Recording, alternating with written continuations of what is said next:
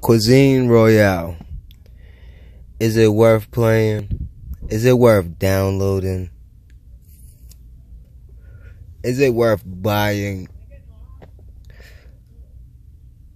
I don't think so. I was playing this game and it just felt like a waste of time. A huge waste of time. You're just running around looking for people.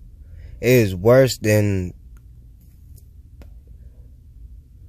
Fortnite one on one.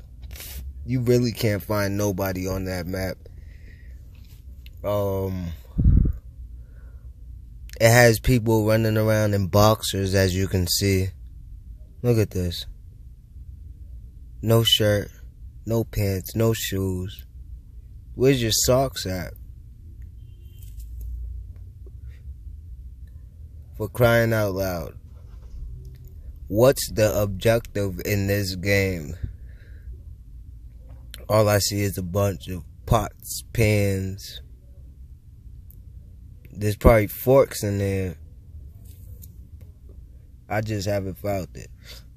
By the way, when you find a gun, you need to go looking for the ammo also.